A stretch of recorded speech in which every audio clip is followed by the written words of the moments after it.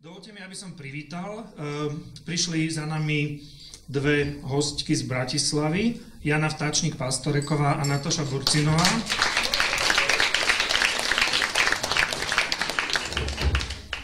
A spolu s nimi je tu Anka mm, Vančová, Jančová, prepač, prepač, uh, Jančová z Považskej Bystrice, ktorá spolu s dievčatami je aj práve v tej iniciatíve slovenských učiteľov a sú všetky tri, myslím, členkami štrajkového výboru uh, toho celoslovenského. No potom možno aj Anku privítať, Jančovú.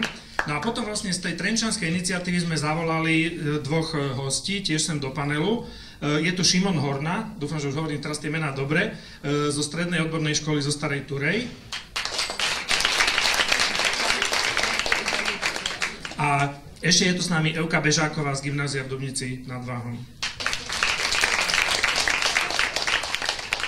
My sme sa snažili vymyslieť nejaký rámec tej diskusie, lebo je, je nám jasné, že sú tu medzi nami ľudia, ktorí sú od začiatku pri tej aktivite, takže vedia veľa detajlov. Je tu možno niekto, kto vie o tom trošku menej.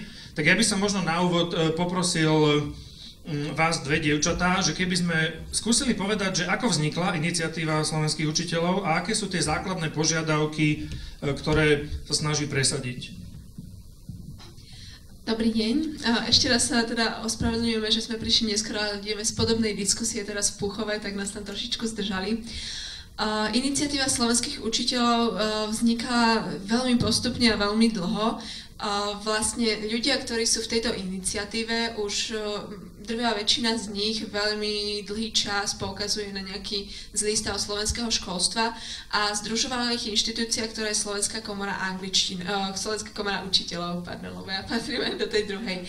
Uh, Slovenská komora učiteľov uh, je stavovská organizácia, ktorá um, pripomienkuje zákony, sedí v rôznych komisiách, uh, zasadzuje sa o zlepšovanie slovenského školstva takým tým diplomatickým, legislatívnym spôsobom Um, a nejako týmto ľuďom tak vlastne v istom momente došlo, že, že sa im to týmto spôsobom nedarí. Um, možno si spomínate na toto leto, kedy nejak tak pomerne rýchlo a potichu prešiel zákon o vetovaní prezidentov. A aj vďaka týmto ľuďom to, to nebolo, uh, riaditeľov, pardon, uh, a vlastne uh, Spolu s komorou a pod vedením komory e, to mnohé stavovské organizácie, myslím si, že ich bolo 13, odmietli a veľmi e, jednohlasne a bez nejakého rozporu vyjadrili nesúhlas. E, napriek všetkému sa však zákon schválil a bolo to jeden z takých tých bodov, kedy vlastne nám začalo dochádzať, že asi to týmto spôsobom čisto nepôjde. Potom prišiel ten nešťastný október, kedy vlastne v, pri kolektívnom vyjednávaní boli schválené požiadavky ešte nižšie, alebo teda navýšenie platov ešte nižšie, ako táto kolektívne vyjednávanie prinieslo ministerstvo financí. Čo je teda dosť bizarná situácia, lebo ministerstvo nám ponúkalo tých 5%, všetci asi vieme, že aké boli tie okolnosti, odsúhlasili sa 4%. No, to bol ďalší taký krok alebo milník, kedy sa ukázalo, že eh, ani tie klasické staré školské odbory nás nevedia zastúpiť asi tak, ako by mali. A v tých učiteľoch to tak dozrievalo, až vlastne prišli na to, že čo si neurobíme sami, tak to nebudeme mať. A iniciatíva sa snažila tak jemne, vtipne, mm, možno mm, mediálne, atraktívne organizovať rôzne akcie, ktoré by prebudili trošku verejnosť a priniesli tú tému vôbec von. Pretože e, tá téma nebola atraktívna naozaj takmer pre nikoho, školstvo nie je až tak široko spektrálne diskutovanou témou. A tak bol najskôr zraz dlhých nosov, potom učiteľská kvapka krvi mm, a toto všetko vzniklo ešte pod taktovkou iniciatívy bratislavských učiteľov, pretože tým, že my sme učiteľia takí, ako ste vy, a sme zanepráznení a máme druhé práce a podobne, uh, nebrali sme si na seba tú zodpovednosť uh, burcovať celé Slovensko. Začať treba na tom svojom možno malom lokálnom piesočku a podnietili sme kolegov v Považskej Bystrici, v Trenčíne, v Žiline, v Banskej Bystrici a v ďalších krajských mestách, potom aj v okresných mestách a mm, začali vznikať iniciatívy po celom Slovensku. Pri tom babysitting dní, kde už nás bolo 9 tisíc, sa to tak začalo lámať, že vlastne po ňom sme sa stretli všetci spolu a nastolila sa tam otázka, že či má teda vzniknúť alebo nemá vzniknúť iniciatíva slovenských učiteľov, lebo určite vnímate, že tie problémy, ktoré tu máte a ktoré majú napríklad naši kolegovia na východnom Slovensku sú iné ako tie, ktorým čelíme v Bratislave, ale cel, výsledkom tohto stretnutia bolo, že sme sa rozhodli, že má zmysel za ne bojovať pod spoločnou organizáciou a, alebo pod spoločnou iniciatívou a vtedy vlastne sa to mm, cez Vianočné prázdniny, ktoré neboli pre nás prázdninami, ale boli pracovným voľnom, tak sme sformovali uh, iniciatívu slovenských učiteľov v tej podobe, ako ju vidíte dnes. A je tu medzi nami aj veľa študentov, to aj rodičia, tak možno by bolo fakt dobre povedať aj tie základné nejaké požiadavky a ten, e, ten status, e, prečo práve s takýmito požiadavkami sa prišlo. A, takže iniciatíva slovenských učiteľov a, e, v podstate požaduje tri veci, a, ktoré sa týkajú rôznych okruhov. A, taká v podstate veľmi dôležitá požiadavka je navýšenie peňazí do školstva, kde požadujeme 400 miliónov na to, aby sa vyrovnali rozdiely vo vybavenosti škôl. Samozrejme, týka sa to didaktických pomôcok alebo vôbec aj riešenia havarijných stavov. Ďalší bod sa týka platov učiteľov, kedy po, v ktorom požadujeme navýšenie v tomto roku o 140 eur a v následujúcom roku o 90 eur. Čiže vlastne to je taký ako keby druhý okruh, že plat učiteľa, potom peniaze do školstva ako celku. No a tretí bod uh, sa týka uh, vzdelávania učiteľa, pretože uh, v podstate dochádza k tomu, že máme obmedzenú platnosť kreditov a my požadujeme to, aby sa zrušila, pretože sa nám to zdá absurdné, tak ako keby vám chceli zrušiť, ja neviem, napríklad platnosť vysokej školy po, ja neviem, 7 rokoch alebo 10. Čiže toto je naša tretia požiadavka. Určite budete mať aj vy veľa otázok, ale šetrite si ich. My sa k niektorým týmto veciam ešte trošku podrobnejšie dostaneme, lebo jasné, že sú známe aj niektoré tie argumenty tých oponentov, tak môžeme si to trošku rozobrať, že ako čo mne hneď pri tých kreditoch napadá, že niekto argumentuje tým, že možno niektoré veci zastarajú časom z tých nových metód a že možno naozaj tá, m, tie kredity by si mali tí učiteľia e, obnovovať, ale chcem ešte predtým, ako budeme možno rozoberať aj tie požiadavky a ďalšie veci, sa spýtať, ako sa vlastne iniciatíva cíti vo vzťahu s odborármi, s odborovým zväzom? A ako ste vnímali to, že či sa k vám pridávali alebo nepridávali nejakí podporovatelia, ehm, kto to bol, treba aj tí podporovatelia, lebo viem, že aj Slovensko Digital veľmi vám pomohlo z ehm, že či by si k tomuto niektorá z vás mohli ste povedať, prosím, aj našim hostom tu publiku. Tých odborov je na Slovensku viac. Na tí najväčšie sú odborové združenie pracovníkov školstva vedia výskumu, potom máme nové školské odbory a potom mnohé zo škôl majú svoje vlastné malé odborové organizácie. Náš štrajk je štrajkom podľa ústavy. To znamená, že akýkoľvek človek bez ohľadu na uh, príslušnosť akajkoľvek odborovej organizácii sa môže zapojiť. Uh, odborová organizácia Nové školské odbory nás od začiatku plne podporuje, dokonca oni si hneď na začiatku, ešte predtým, než my sme uvažovali o, o štrajku, niekedy na prelome novembra a decembra robili prieskum o tom, koľko z ich členov uh, by do toho štrajku išlo, lebo už situáciu považovali za neudržateľnú. Keď videli, že ten mandát iniciatívy slovenských učiteľov bol už tých 9000 učiteľov, uh, tak uh, vlastne sami prišli s tým, že boli taktiež prizvaní na to isté stretnutie, o ktorom som tu rozprávala, že, že sami prišli s tým, že poďme do toho spolu, lebo jedine spolu to bude mať silu. Takže tam je úplný súlad a um, úplná kooperácia od začiatku.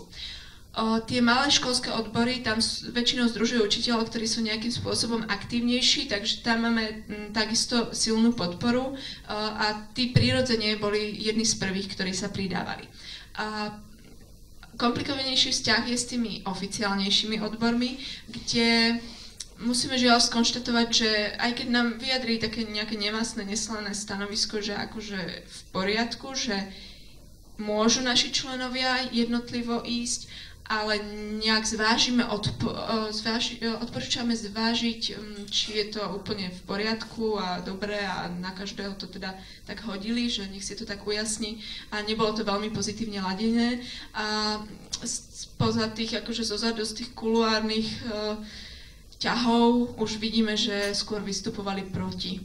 Takže tam je nám to trošku nejasné, prečo ten, prečo ten ich postoj je takýto pretože si myslíme, že ako odborová organizácia by mali byť prví, ktorí to budú ťahať.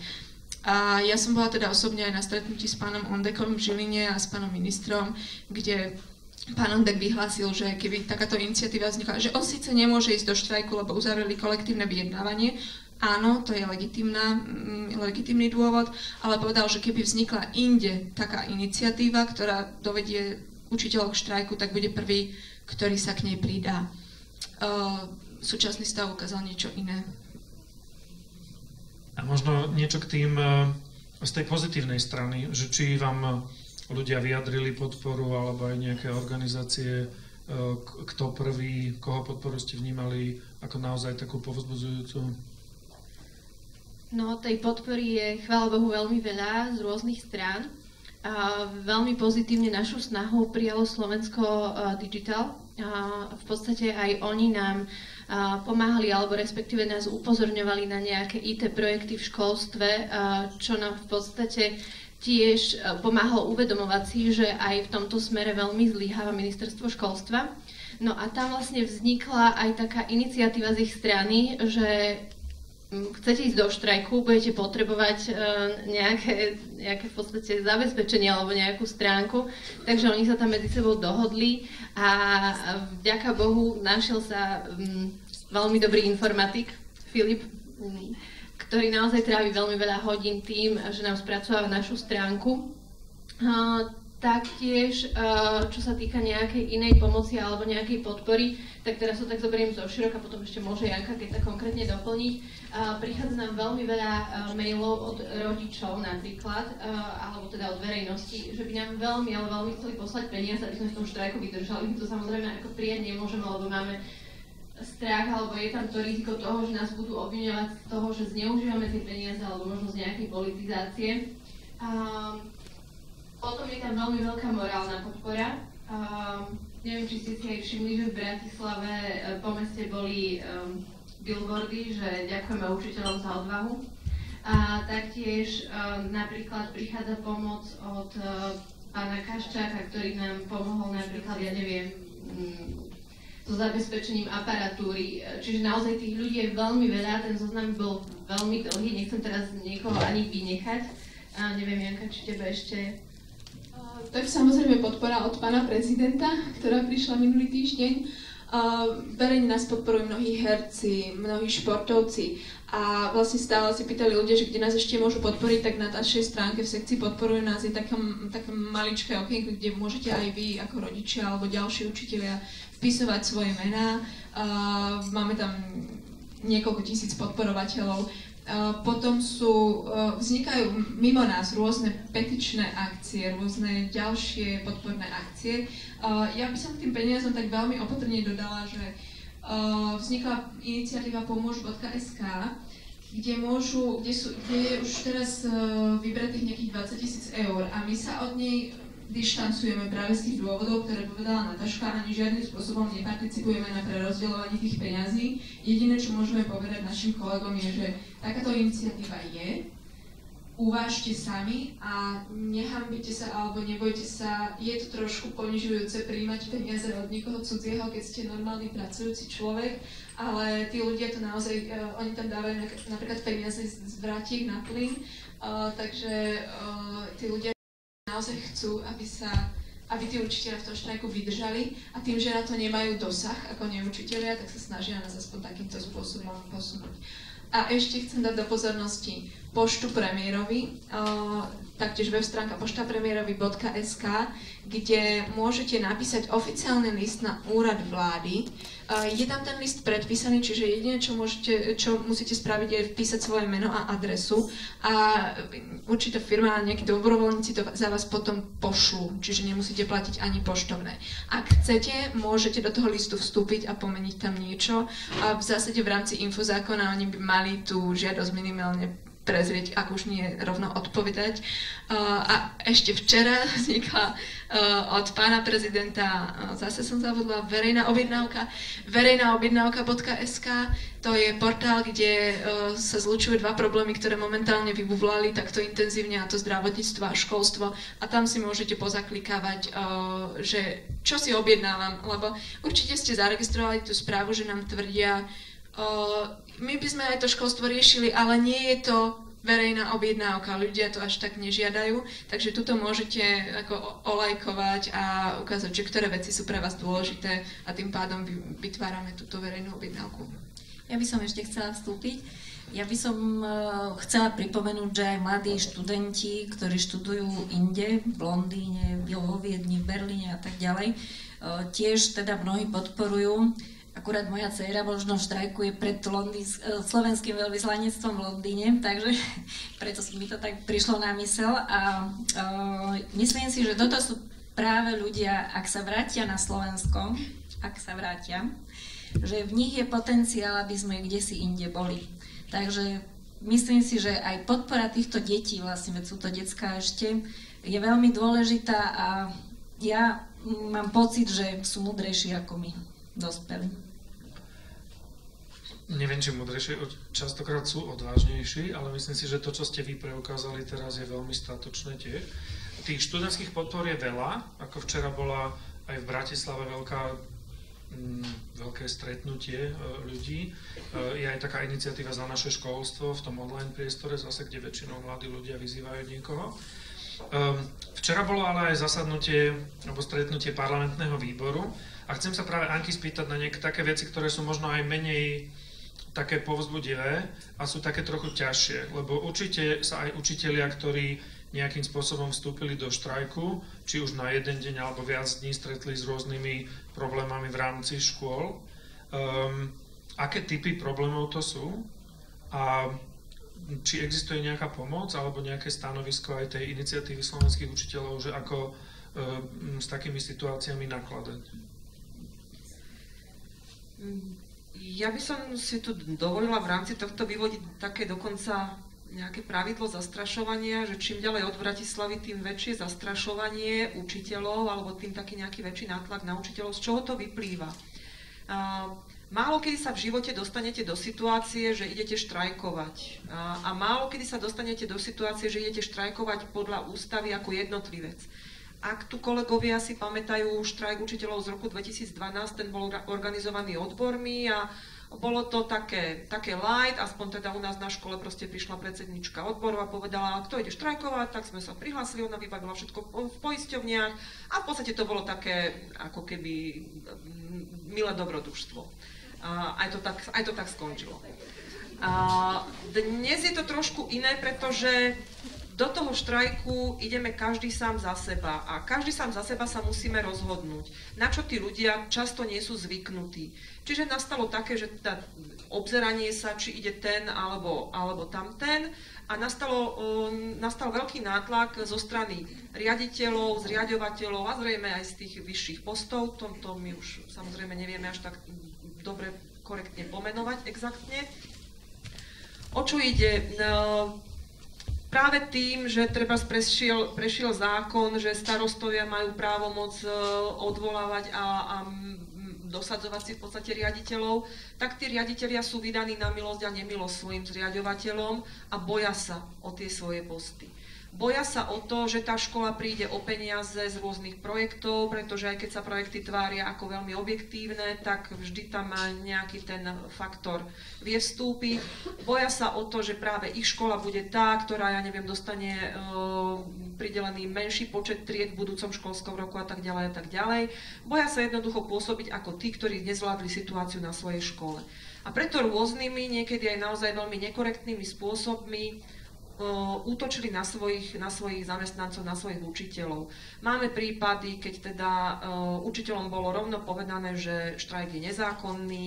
Máme prípady, keď boli po jednom volaní do riaditeľne a tam boli, bol na nich vyvíjaný nátlak rôzne takéto situácie. Bohužiaľ, ľudia v takýchto situáciách nevedia rýchlo zareagovať a preto my, keď sme, keď sme zistili prvé takéto prípady, tak sme skutočne veľmi horúčkovito až pracovali na tom, aby sme jednak informovali uh, tlač o týchto situáciách, čo si myslím si, že celkom dobre zabralo. Ja som z Považskej Bystrice a uh, treba to, že sme informovali, že takýto nátlak prebiehal v Považsko-Bystrických školách, vyústil v to, že sám pán primátor teda podal vyhlásenie, že on s tým nemá nič spoločné.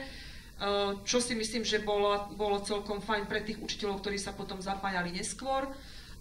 No a vydali sme, alebo spracovali sme v rámci newsletteru, my posielame tisíckam učiteľov uh, newsletter pravidelne o tom, čo, čo sa u nás deje v rámci ISU, tak sme vypracovali taký manuál alebo takú prvú pomoc, ako reagovať uh, v čase takého nejakého nátlaku. A ako vnímaš, alebo ako v tom štrajkovom výbore vnímate vlastne všetci aj tú komunikáciu zo strany ministra školstva, lebo mne sa zdá tiež nie celkom korektné hovoriť e, o počte zavretých škôl a vyčíslovať to v percentách, keď e, tá skutočnosť je iná v tom, že mnohé školy sú síce otvorené, ale, ale nie je tam reálne zabezpečená tá výuka, pretože povedzme dve tretiny učiteľov sú e, v tom štrajku. A ako neviem, či si bola aj včera na tom zasadnutí, uh, alebo Janka, že či by ste mohli trošku povedať o tej atmosfére, lebo my sme niečo určite videli uh, v televízii, v médiách, ale aj, aj to je možno taká otázka, že ako vnímate postoj médií, teraz myslím na tej celoštátnej úrovni, kým prejdeme aj trošku vlastne k tomu Trenčinu bližšie. Či by ste nám o tomto mohli ešte o týchto veciach Ja sa vyjadrím asi k tej metodike tých čísel mm-hmm. a potom Janka môže k tomu, k tomu uh, zasadnutiu. Uh, asi poznáte ten výrok Winstona Churchilla, že dobrá je len tá štatistika, ktorú si sám zmanipulujem, takže asi na takomto nejakom princípe to, to funguje. Nás veľmi mrzí práve to, že ministerstvo v rámci tej svojej takej nejakej manipulačnej kampane sa rozhodlo prezentovať len čísla plne zavretých škôl. To znamená len škôl, ktoré, kde sa vôbec neučí. Ale mnohé školy práve preto, že skutočne cítia zodpovednosť za tie deti, a za, za to, v akej situácii sú aj rodičia, tak e, využívajú rôzne formy toho štrajku a tá škola nie je úplne zavretá. Ja neviem, sú školy, kde je otvorený povedzme len školský klub, alebo sa učia len niektoré ročníky, alebo učitelia chodia alebo sa striedajú v štrajku na smeny. To znamená, že tento týždeň chýba 10 učiteľov a ďalší týždeň chýba 10 e, ďalších učiteľov. Za nich sa, za nich sa rôznym spôsobom zastupuje, supluje. To všetko sú školy v štrajku a, to všet, a, a tým všetkým sú tie deti svojím spôsobom postihnuté, lebo sa im nedostáva tej výuky, ktorej by sa im dostávať malo. Bohužiaľ, ministerstvo stále operuje len s číslami tých zavretých škôl. My už dnes vieme, že v štrajku sa, do štrajku sa akýmkoľvek spôsobom, to znamená či už vstupom na jeden symbolický deň alebo na dlhšie obdobie, sa do ňoho zapojilo 14 500 učiteľov. 14 500 učiteľov je mesto o veľkosti Levoče, čo mi príde už taká dostatočná masa na to, aby povstanie Levoče riešila vláda. Hej? Keď sme si to tak zhruba rátali, tak sa ten štrajk nejakým spôsobom neblaho dotkol 130 tisíc detí. Ani o tom ministerstvo nehovorí, že ich nezaujíma situácia 130 tisíc detí. Čiže e, takéto sú tie čísla. My sa stále snažíme s tými číslami narábať veľmi opatrne, pretože verejne vyhlasujeme, sme odkázaní na to, ako nám tie čísla dodajú kooperátori štrajkov z jednotlivých škôl. Takže netvrdíme, že aj tie naše čísla sú v tomto momente e, úplne na jedného človeka presné, ale myslíme si, že sú oveľa menej zavádzajúce, alebo nie, nie, my sme presvedčení o tom, že sú oveľa menej zavádzajúce ako tie ministerské. Presne tak, ja len doplním, že od začiatku sme tú registráciu naprogramovali tak, aby sa do nej dalo opätovne vstúpiť. E, čiže oni majú nejaké prihlasovacie kódy a v každý deň v newsletteri dostanú informáciu o tom, že prosíme všetkých koordinátorov, aby aktualizovali čísla za, naš, za svoju školu. Takže e, my na nich takto apelujeme, naozaj je to v každom jednom newsletteri, takže predpokladáme, že naozaj ako v približeniach desiatok e, učiteľov alebo maximálne stoviek si za tým číslom stojíme. K tým číslam by som ešte dodala, že to veľmi nekorektne, a to som ja by som povedala rovno klamlivo a lživo, ministerstvo komunikuje aj tie čísla o našich platoch.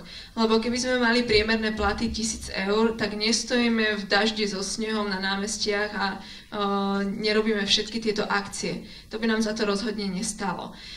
My sme tie uh, štatistiky vyvrátili, bolo tam od elementárnych chýb ako zle spočítaný priemer niekoľkých čísel, až po chyby závažné, ako že si vyberajú len určitý typ pedagogických zamestnancov na určitých typoch škôl, vrátanie riaditeľov, vrátanie zástupcov, proste tú najvyššie zarábajúcu skupinu a to prezentujú ako priemer. Uh, to sme boli stále my, ale čísla im vyvrátil aj Inštitút finančnej politiky. Minulý týždeň týždeň eh, boli nutení eh, stiahnuť z webu nejaké grafy, ktoré, ktorými vlastne dokazovali, že tie čísla prezentované ministerstvom sú nesprávne. A potom tam boli dodávané rôzne uh, vysvetlenia, že to bolo kvôli tomu, že nebol úplne dobre stanovený kontext a podobne. Ale každý súdny človek rozumie tomu, že z akých dôvodov tie grafy museli byť stiahnuté. Takže uh, Napriek tomu, že tie čísla sme vyvrátili niekoľkokrát, neustále sa opakuje to, že vlastne ministerstvo si hudie to svoje, je to 1% alebo koľko hovoria, 2% škôl a podobne.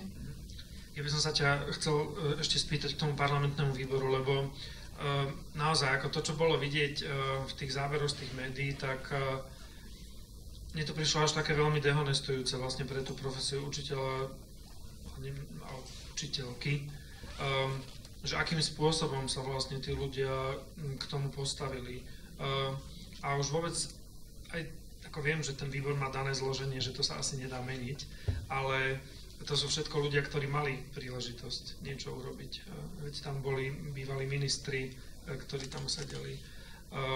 Ale ani oni som nemal pocit, že by sa nejako naozaj zastali tej témy. A teraz nemyslím ako len, len tých štrajkujúcich ľudí. Aké to bolo pre vás? Je to, Musí to byť ťažké to počúvať? Tak je vôbec ťažké o tom hovoriť, lebo my sa veľmi striktne snažíme uh, vychýbať akýmkoľvek politickým témam. Uh, máme veľmi jasne zadefinovanú internú politiku, že dokonca sa ani s politikmi nebavíme, dokonca ani s takými, ktorí sú mimo akejkoľvek politickej strany. A keď idete vy na tak, uh, takýto typ stretnutia, tak vlastne neviete ani veľmi, čo tam čakať a ešte na, na dôvažok, keď sa nemôžete s tými ľuďmi pobaviť, aby ste vlastne zistili, ako to tam chodí, tak ste tak nevyhnutne ťaháte za kratší koniec. Um, zloženie toho výboru je také, teraz budem musieť hovoriť politicky, pretože je to, sme boli na pôde Národnej rady.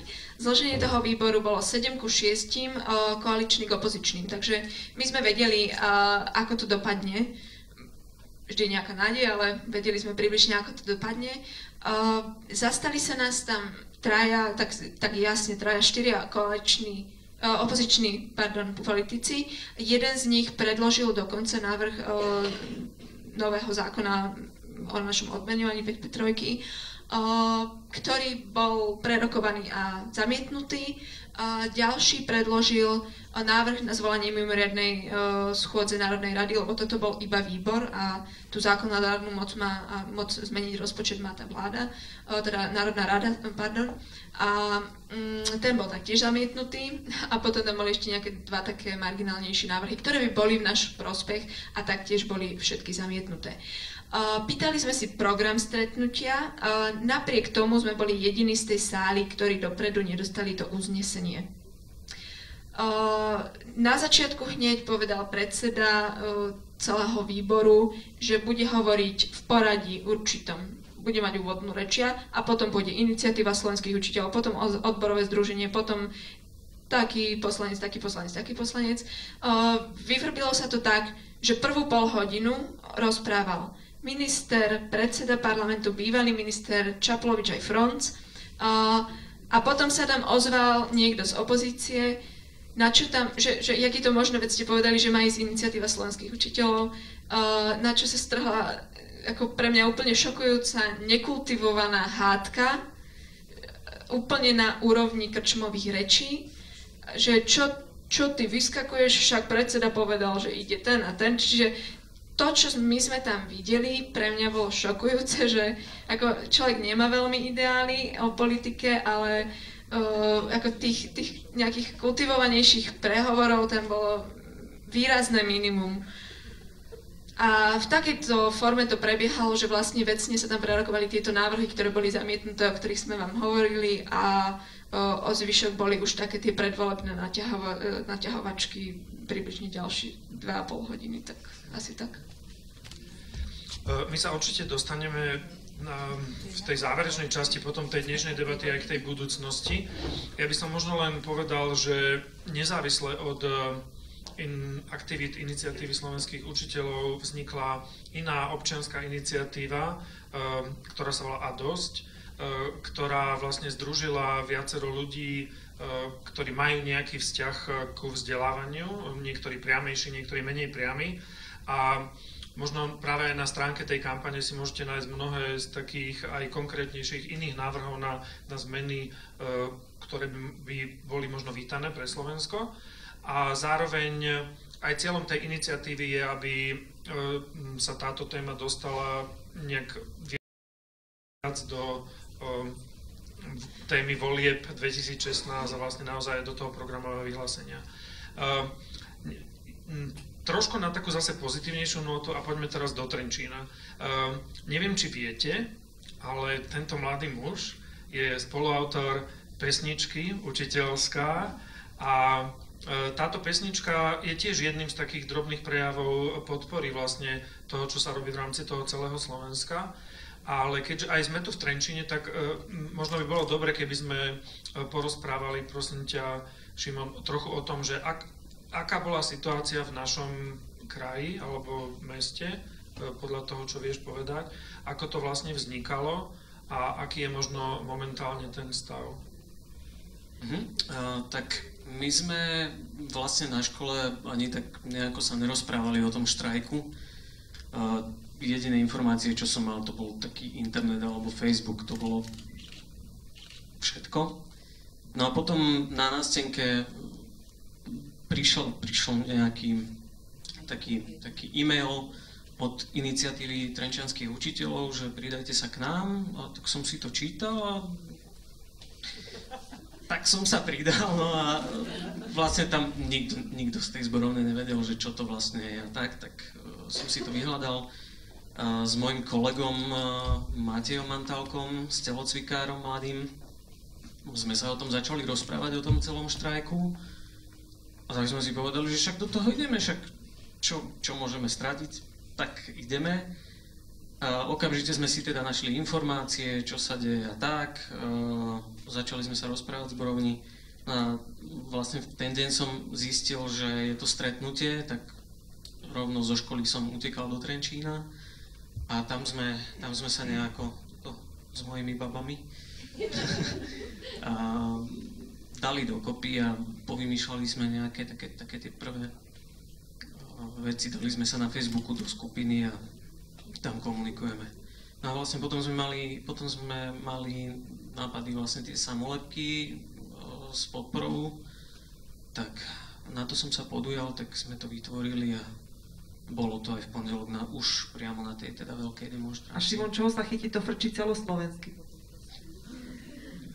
To je dobré, že aj ten Trenčín je tam niekde v tom celoslovenskom.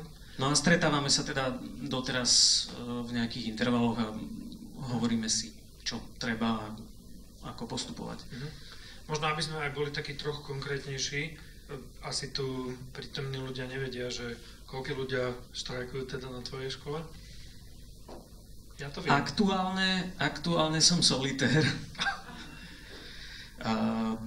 je to tak, že zvolali sme priamo ako som, ako som išiel teda na to stretnutie iniciatívy, a tak ďalšie dni sme aj s kolegom, teda tým telocikárom, Matejom zorganizovali takú schôdzu v zborovni, kde sme povedali všetky aj tie, všetky tie body, čo sa týkajú štrajku, to už ste tu počuli.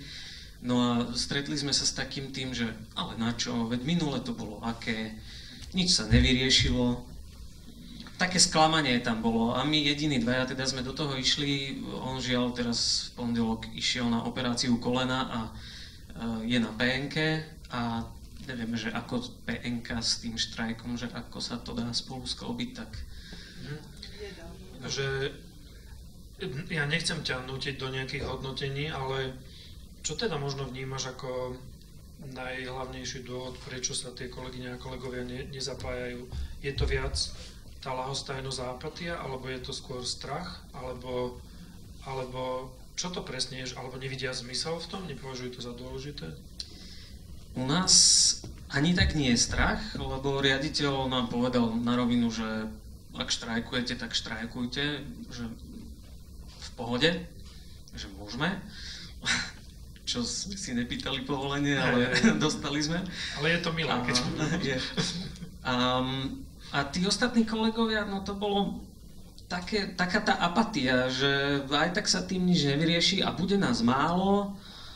A hovorím, však zavolám, zavoláme z toho ISU ľudí, nech prídu porozprávať. O, nemáme času vôbec Mm-hmm. Takže takéto, neviem, ako boli, tam, boli tam určite podporné slova od uh, kolegyň, ktoré organizovali aj minulý štrajk na škole, ale boli z toho také sklamané, že nie.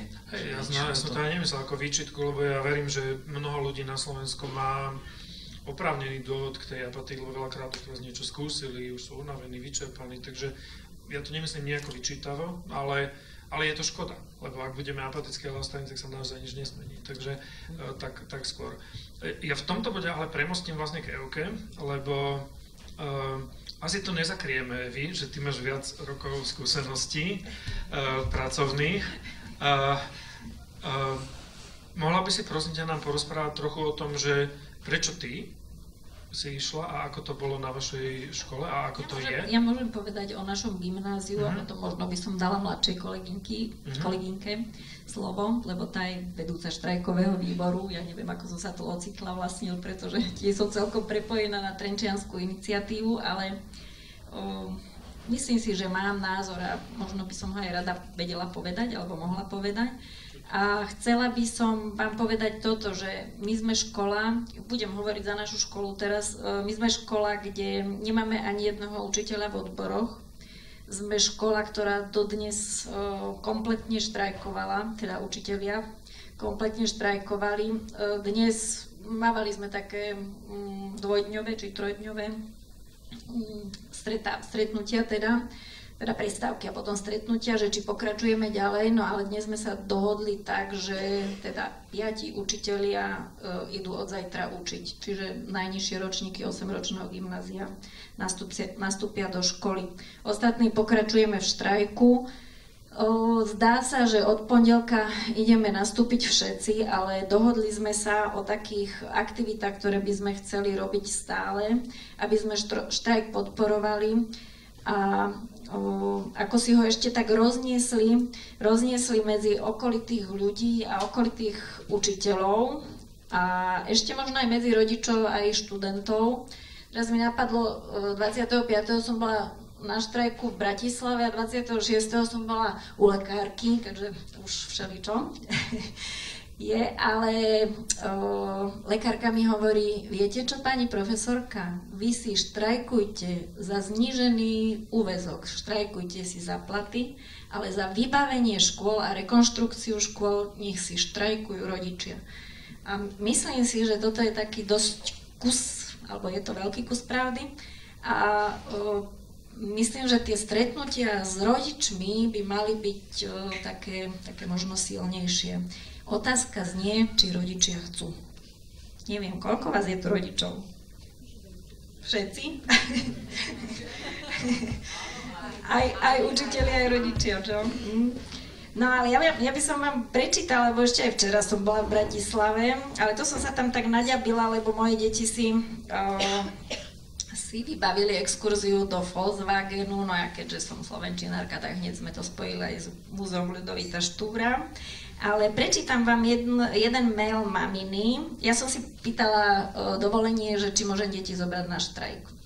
No a teda, čo mi odpísala, je to mamina učiteľka. Dobrý deň. Áno, áno, áno. Isto chodte aj s deťmi. Ja sa hambím, že my, naša ZDŠka, sme sa nepridali. U nás sa veľmi o tom ani nehovorí, hoci pani riaditeľka dala najavo, že nie je proti, ale že sa musíme my spojiť, no a nie je to žiaľ tak. Hanbím sa a veľmi si želám, aby sme sa všetky, v zátvorke všetci, zobudili a nehrabali sa len na vlastnom piesočku. Viete ako, keď nám nie je najhoršie, čo má po ostatných? Mám ten dojem u nás len ta, tiež to vidím tak, že ja nemám morálne právo vyskakovať, keď som v školstve druhý rok. Držte sa aj za nás babelých, zo srdca držím všetkým palce. Takže. No a keďže sme sa rozhodli dnes, že nastúpime od pondelka, aby som dala tu na Marcelke slovo, ona je tá vedúca naša, Uh, takže uh, ja sa volám Marcela Godolová, som kolegyňa Eukina na gymnáziu v Dubnici nad Váhom. Ja by som ešte k tomu našemu štrajku uh, niečo. Samozrejme zo strany vedenia sme nepocitili absolútne žiadny nátlak, práve naopak, aby sme si slobodne povedali svoj názor. Takisto tie diskusie v zborovni sme viedli v takom duchu, že absolútne nikto nemá právo niekoho presviečať alebo nejakým spôsobom nútiť, hoci sme teda veľmi radi uvítali tú situáciu, ktorá vznikla, že e, všetci sme sa jednotne do toho štrajku zapojili. Myslím, že jeden kolega tam bol taký, ktorý mal nejaký dôvod. Ale ja zase tie dôvody chápem, nech sú akékoľvek. Tie e, tí kolegovia, ktorí od dnes, vlastne som ich odhlasovala z tej oficiálnej stránky, to sú kolegovia, ktorým skutočne finančná situácia nedovoluje v tom štrajku pokračovať. Nehovorím, že my sme na tom nejako super, ale, ale jednoducho tam už naozaj išlo vlastne o také existenčné dôvody. Takže chápeme aj toto a naozaj musím povedať, že uh, stretávame sa aj s veľkou podporou uh, zo strany našich, našich žiakov, zo strany rodičov. Mali sme v piatok učiteľský ples, včera prebehla školská rada, kde naozaj masívne tí naši rodičia nás podporujú tým, že sme 8-ročné gymnázium, tak tí mladí študenti od tej primity nie sú ešte tí, ktorí by sa nejakým spôsobom vedeli k tomu vyjadriť, ale tí starší uh, takisto cítime naozaj tú podporu. E, čo sa týka tých ďalších aktivít, čo Euka spomínala, tak uh, cítime, že ak by, sme, ak by sme teda skončili ten štrajk od pondelka, tak to neznamená, že by sme ho ukončili. Takisto by sme to spravili z finančných dôvodov a ostali by sme štrajkové pozotovosti s tým, že vyučovanie by sme chceli začať tako, takým veľkým stretnutím uh, všetkých pedagógov a všetkých žiakov asi v telocvični našej školy s tým, že by sme uh, najskôr si povedali prečo, prečo to celé vzniklo, kde sú tie dôvody,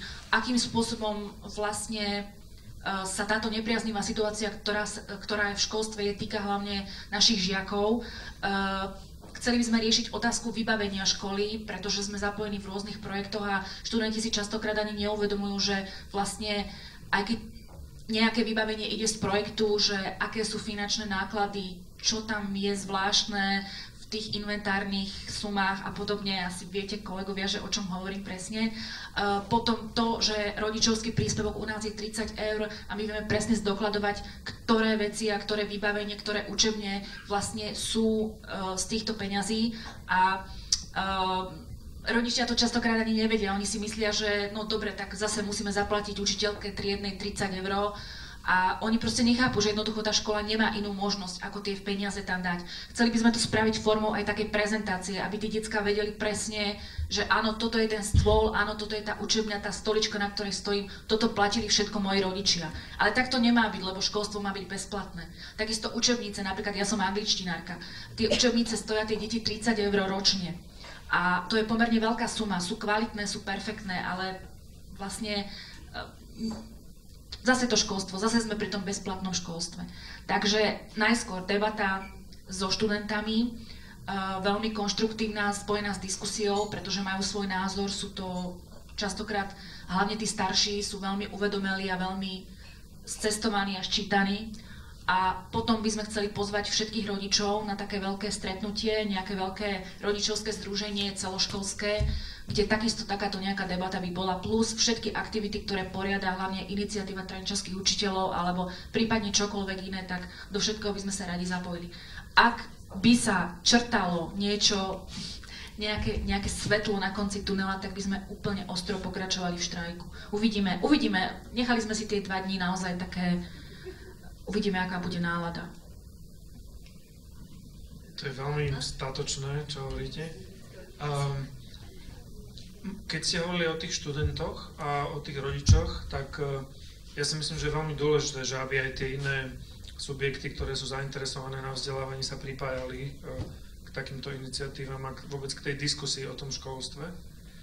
Zároveň je to presne o tom, že či tým rodičom vlastne záleží a koľkým a nakoľko na tom vzdelávaní, ale to už je asi na svedomí každého jednotlivca, to ťažko to vyriešime. E, Šimon, ty si chcel povedať niečo? Len také postrehy z našej školy, že mal som ešte také argumenty pred kolegami, že nepríde vám tragikomické, keď riaditeľ beha v zime po škole a kontroluje, či radiátory neprehrievajú. Keď, keď uh, žiaci chodia do učebne, ktorú volajú, že múzeum, a je to počítačová učebňa. Tak, tak. No. Ja som vlastne, uh, som tu ešte aj našiel um, tú pesničku, čo, sme, čo som otextoval a Maťo Struhár to zhudobnil. Tak je tam, je tam taká sloha, že počítaš na prstoch, učíš ich bez knihy, pomôcky nemáte, o nových pochyby. Žobrať od, od rodičov, kto by to chcel, na to sa neznížil ani veľký Matej Biel tak toľko k tým. Ja, ja si myslím, že to je možno vec taká, ktorú si častokrát neuvedomujeme. Teraz myslím, ako keby tá široká verejnosť, že častokrát rodičia vidia len to, že musia dávať tie peniaze, ale neuvedomujú si, ako je trápne tým učiteľom tie peniaze pýtať. Aké je to vlastne veľmi nepríjemné, že to nie je niečo, z čoho by oni nejakým spôsobom profitovali. Môžem ja len k tým rodičom, by som to nevidela tak čierne, lebo minulý týždeň sme mali stretnutie v Artfore a samozrejme, my sme si od začiatku uvedomovali, že budeme potrebovať podporu rodičov.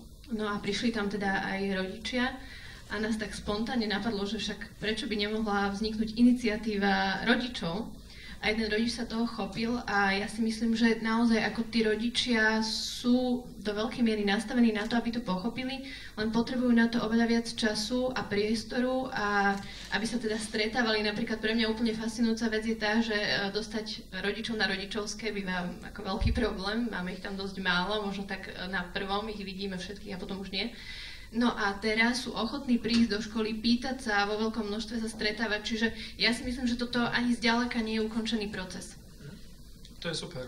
A boli aj také milé aktivity, že nejaký rodič popísal tričko dieťaťu, že podporuje štrajk a tak ho poslal do školy, alebo niektorí rodičia nechali deti doma zo školy, v ktorej sa učilo, lebo to, tá rodina sa rozhodla podporiť ten štrajk. Takže my, my tu e, viem, že mali by sme sa dotknúť aj tej budúcnosti a určite tam prídeme, ale chcel by som dať teraz priestor aj na otázky, lebo myslím si, že je to dôležité, keď ste sem v takom počte prišli.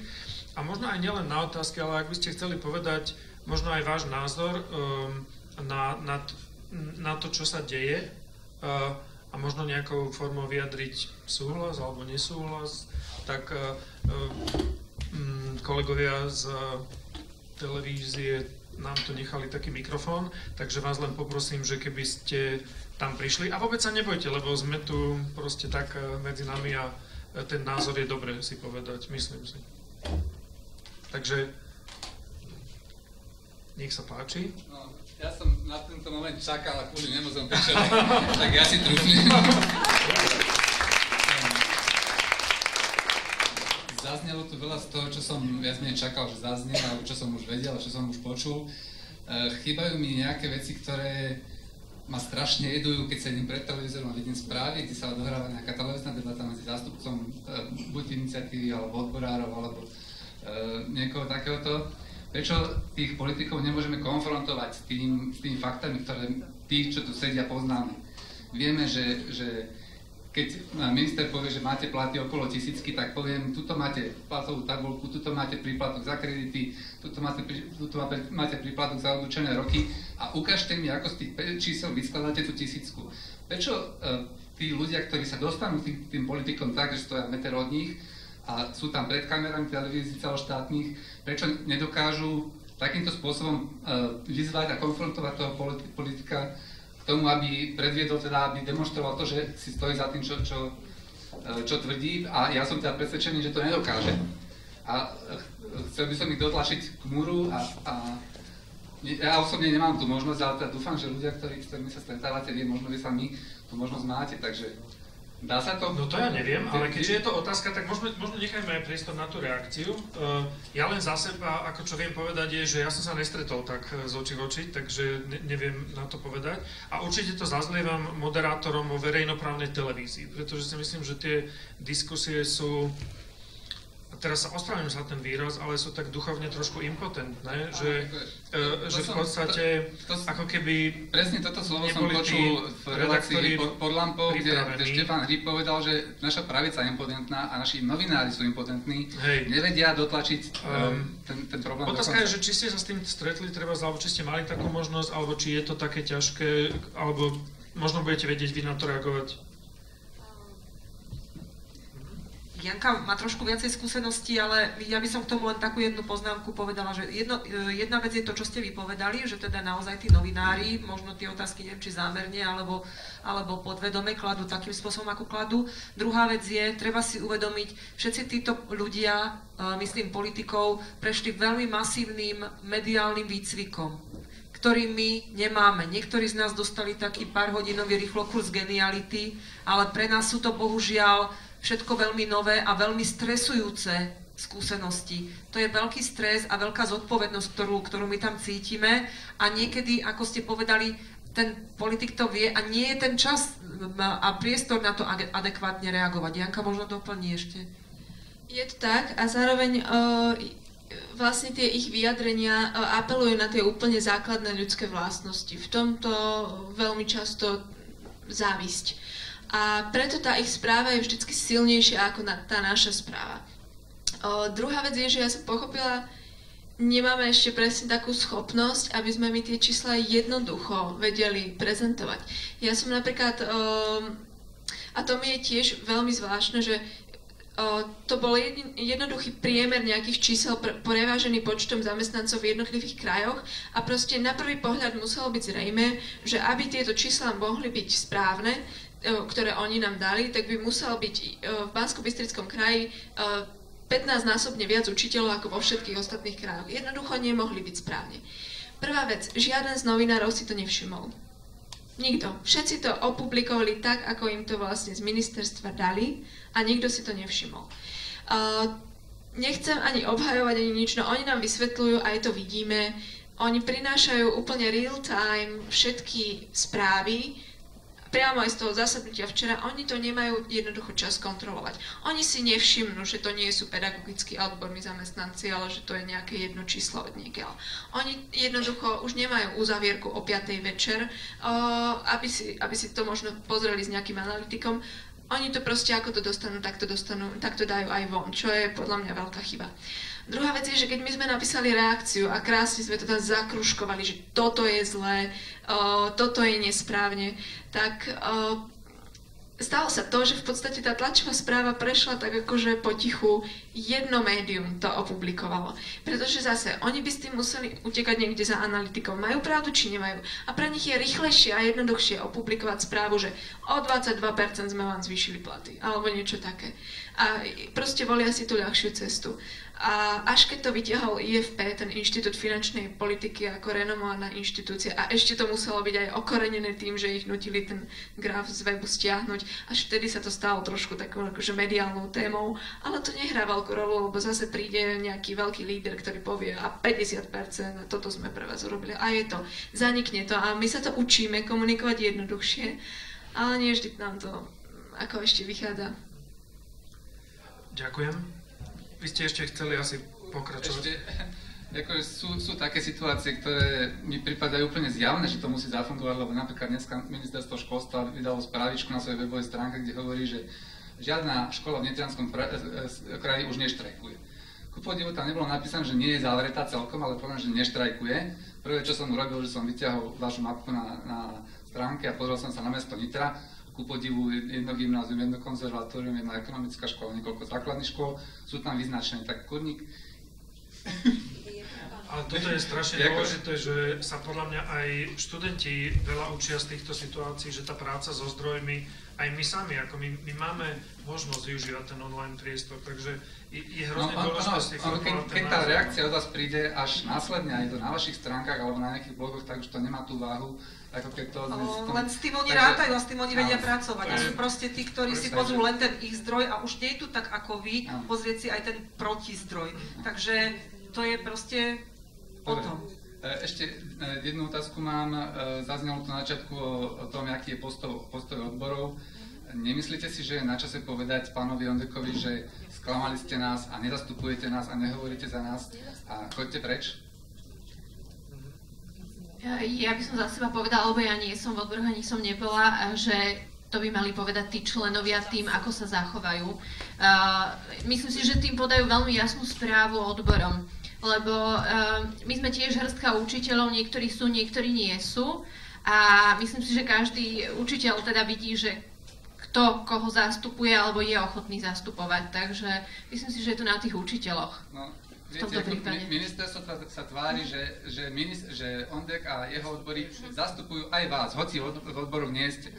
Tak asi potom je primerané obrátiť tú kartu na, na opačnú stranu a povedať, že e, títo ľudia nás nezastupujú, nehovoria za nás.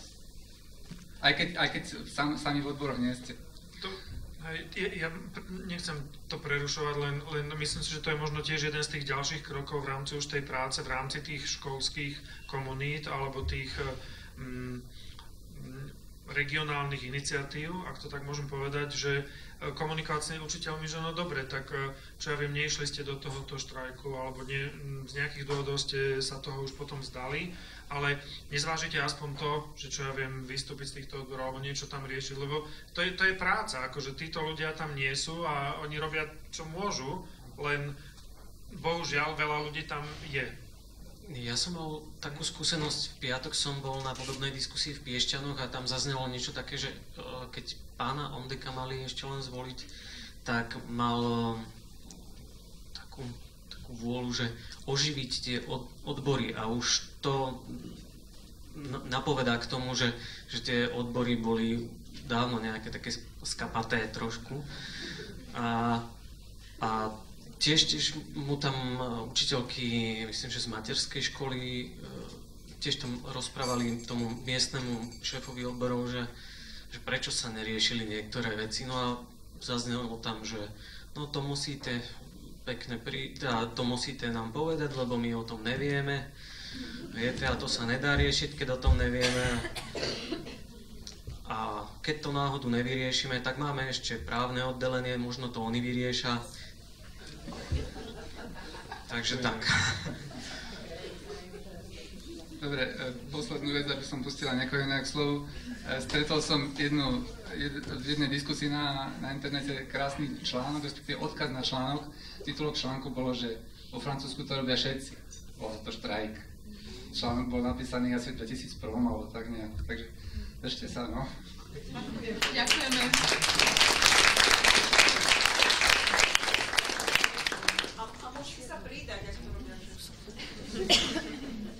Dobre, uh, niekto ďalší? Ja to možno ukričím, ja len trochu k tým politikom. Ja neviem, či to není naivné očakávať, že teda oni, aj keby sme ich presvedčili, niečo zmenia. Ste spomenuli to, tú úroveň tej debaty včera, ona nikdy nebude lepšia prichytiť politika v debate s vymiacou hlavňou, že zaklamal a tam na mieste on zmení názor a rozplače sa a povie, že určite to sa nestane. Oni sú neuveriteľne slisky, tej Žiline sme boli spolu na tej debate zrejme, tam priamo poviete ministrovi do očí, že nemáte pravdu, on to za 3 minúty zopakuje, už sme sa asi nohu cez nohu, ale z okolností v pondelok som mal šancu takto na 3 metre sa pýtať prezidenta, či plánuje tento týždeň tiež vyjadriť nejakým činom podporu a ešte aj on to zastavil. povedal, že teraz pred voľbami treba rokovať so všetkými stranami, ktoré si to musia dať do volebných programov. Takže nečakajte ani, že by ste uspeli. Možno keď sa doma zrízajú, keď im spadne 5%. To možno zaberie. A to si musíme vybaviť hlavne my, učiteľia medzi sebou, ukázať rodičom, že politici klamú a majú viac počúvať učiteľov. Ja by som len dodala, že ako tá arogancia moci je tu tak silná, že nás musí byť naozaj masa a neviem, že či stačí masa učiteľov, sta, uh, my potrebujeme masu verejnosti. To je to. A preto nás teší tá podpora rodičovská, či sú to tie biele trička, alebo či je to uh, písanie premiérovi. Proste my potrebujeme tlak. Tlak konzistentný proste musí byť silný a musí byť dlhý. A ono, tie benefity z toho už vidno. Ako, keď si pozriete tlačovky uh, z posledného týždňa, tak sú tam také drobné prerieknutia. Aj tí ľudia na tej druhej strane vyzerajú čoraz unavenejší a uh, pokiaľ premiér doteraz tvrdil, že však sme vám zvyšovali platy a toľko to miliónov, tak uh, preriekne sa občas, že budeme zvyšovať aj ďalej, lebo je tlak, uh, lebo sme vlastne chceli zvyšovať už aj predtým, než bol tlak, ale proste tie prerieknutie tam sú a toto je proces. Uh, je ideálne proste, ak sa nám podarí vydobiť uh, ten prvý krok, to je len prvý krok tie financie do školstva. Je to proces, ktorý bude trvať a ktorý mm, ako aby sme zmenili školstvo a kvalitu školstva, tak my sa tu bavíme o desiatkách rokov. A ten, k tomuto kroku musí skôr či neskôr prísť, ale mm, to, čo sme našli ako taký benefit, ktorý sme ani neočakávali, je, že my sme nemysleli, že keď budeme žiadať o peniaze, čo je taká veľmi citlivá téma, tak to podnieti až takú burlivú diskusiu v spoločnosti a že tí učitelia narovnajú chrbáty a zdvihnúť tie zohnuté hlavy. A toto je pre nás najväčší potenciál využiť toto naladenie, ktoré tu máme, aby sme tlačili tie zmeny konzistentne a dlho. Ja by som ešte veľmi rada pripomenula, ja by som sa zase vrátila k tým finančným veciam. Všetci poznáte tú kauzu Sifón určite. A my, ktorí E, robíme treba s projektmi, už som to spomínala, tak my vieme o mm, tých zvláštnych cenách všelijakých, ktoré, e, tie učebné pomôcky, ktoré síce aj keď sa dostanú do školy a keď napríklad povie premiér, že za toľko a toľko miliónov sa investovalo do školstva, tak my vieme, že tie ceny nie sú adekvátne nákupným cenám alebo takým, ktorý by sme si ako škola vedeli vysúťažiť v tom verejnom obstarávaní. Takže ja si myslím, že aj tu na tí rodičia by mali byť informovaní presne o tom, že koľko tie veci stoja a kam tie peniaze idú tie, ktoré sú navýšené oproti tej reálnej cene. Takže... Ešte ja by som pár slovíčok. Ja som zase veľmi rada, o, takto počúvam, že sme to zle načasovali. No a ja si zase myslím, že to je veľmi dobre načasované, lebo keby sme išli do tohto po voľbách nič, ani jedna strana by neriešila alebo nerozmýšľala nad tým, ako to tým učiteľom teda urobiť lepšie, alebo teda školstvo, aby sa vôbec pozdvihlo, pretože o, zase by si dali do svojich volebných programov pár fráz a takto sme ich prinútili k niečomu a v tom vidím, že je veľký, veľký prínos. Naozaj ja za toto vám veľmi ďakujem.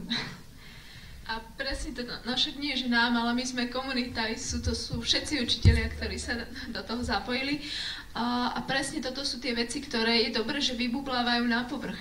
Lebo v tom, akom tlaku tí učitelia pracujú, že mm, ako dobrý učiteľ je ten, čo s prepačením drží hubu a krok a veľmi sa neozýva a není veľmi aktívny, tak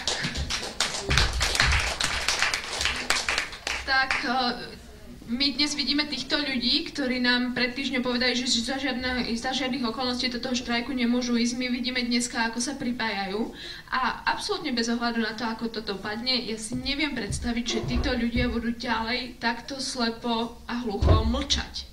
Oni proste získali teraz trošku také kompetencie, že je tu organizácia, kde môžem napísať, keď, keď sa nejaké takéto veci dejú a my už musíme trošku fungovať ako taký strážny pes a dohliadať si aj na to kradnutie v tej, v tej našej vlastnej komore a ja teda dúfam, že to potiahneme aj týmto smerom a tej roboty pred nami je strašne moc. Ja by som ešte takú, takú malú metaforku k tomu, že prečo je to také ťažké presvedčiť verejnosť, takú tú hromadnú verejnosť, že, školstvo je dobré pre ich život. Je to ako, ako s, s malým dieťaťom. Keď mu dáte najesť, tak je spokojné, takže rýchlo sa naučí, že jedlo je dobrá vec. Ale keď mu poviete, že musíš si čistiť zuby, lebo ti zhníjú, tak nepríde mu to, že by mu zhnili po prvom raze, keď si ich neumie, ani po druhom mu nezhnijú, ani po treťom. No a tak toto je rovnako aj s týmito potrebami, keď, e, keď vláda pridá, čo ja viem, zníži cenu chleba, tak všetci jasajú, lebo sú najedení. Ale keď je problém so školstvom, tak ono sa to hneď neprejaví. Až za niekoľko rokov, kým tie deti, čo ja viem, 18, 15 alebo koľko, kým vlastne výjdu tie školy. Takže preto, preto je to ťažké a preto je to na nás, aby sme učili aj verejnosť, nielen deti. Nech sa páči, ja len ten mikrofón predsa len podám, ani nie preto, že by ste to neukričali, ale kvôli tomu zvukovému záznamu je to predsa lepšie? Prvé, čo vám poviem, asi tu nepatrím pretože ja stojím na tej druhej strane, ja som tá, ktorej ten štrajk urobil obrovské problémy, pretože som riaditeľkou školy a moja škola bola dva dní zatvorená a píšem štatistiky, hlásenia a naozaj je to veľmi ťažká situácia. A aj vám by som vyčítala to, že neviete argumentovať. Nechyba vám nadšenie, ste mladí. Ja som naozaj v škole prežila celý život a ja aj ten, aj keď to nie je o peniazoch, tak ale hovorme si presné čísla. Videla som, asi vy nie, pretože ste boli na cestách, posledné vyjadrenie premiéra k štrajku učiteľov, posledné. Bol tam on, bol tam Pelegrini, bol tam minister školstva. Pelegrini nepovedal nič, minister školstva akurát nejakých 530 tisíc, ktoré išli do tejto včera kauzy zmienenej kliniky, e, že to prešetrí ale e, o školstve sa debatovalo málo, pretože je iná zaujímavejšia kauza. Ja vám poviem, čo vám vyčítam. E, stále hovoríme, že čísla sú nepresné, že čo je 24%, a nikto sa nevie opýtať, a nevedia položiť správne otázku novinári. A tak najprv poviem tých vaš, vašich 140 eur. Kde ich chcete dať? Pretože viete, ako vyzerá platová tabulka. Áno, po 12 je tu prvý riadok a potom len percento, percento, percento, po 16 rokoch pol percenta, pol percenta, pol percenta. Konči, končíme pri 32 rokoch. Ja už učím 38 a to znamená, že 6 rokov mám nula nárast toho platu. To znamená, že keď vy máte požiadavku 140%, do platovej triedy 9, teraz je tam 613 eur nástupný plat učiteľa v platovej triede 9. Tam chceme dať tých 140 eur. A od toho budeme zvyšovať desiatku, jedenáctku, dvanáctku a potom od tej sumy bude sa nám zvyšovať e, ďalšia a ďalšia a ďalšia 16 rokov a ďalej. To znamená, že dostane to každý, lebo keď vy poviete 140 eur, aha, tak ja budem mať, ja už mám, ja už som v 12 v najvyššom stupni a mne dajú teraz 140 eur. Nie, to je ilúzia. Vy musíte presne tých 140 eur umiestniť. Ďalej, počujem 22, 24, 46 ja viem, keď dnes je nástupný plat 613 e, eur, ja ešte na takú paralelu upozorňujem, to som nepočula v vašich argumentoch. Vieme, že e, už zakrátko, už to je naprogramované, e, že bude minimálna mzda 412 eur. To znamená, že 9 rokov štúdia, maturita a 5 rokov vysokej školy má u nás hodnotu 200 eur. To je rozdiel. Hej? 412 a 613. Má hodnotu 200 eur. Toto je číslo, ktoré je zarážajúce. A druhé číslo, ktoré tiež som ešte nikdy nepočula v žiadnych debatách, že keď učiteľ skončí, dajme tomu, že tu je niekde na začiatku a na konci, že 32 rokov, ktoré je momentálne zadefinované v platovej tabuľke, koľko činí, kto vie, robíte 32 rokov, aby vám stúpol plat o 200 eur hovoríme o tarifách. Áno? Nehovoríme o ďalších všetkých e, číslach, ktoré môžu. Prečo sa učiteľe naháňajú za kreditmi? Lebo si môžu zvýšiť plat o 12%. Prečo sa naháňajú za atestáciami? Lebo zase sa posunú kde si.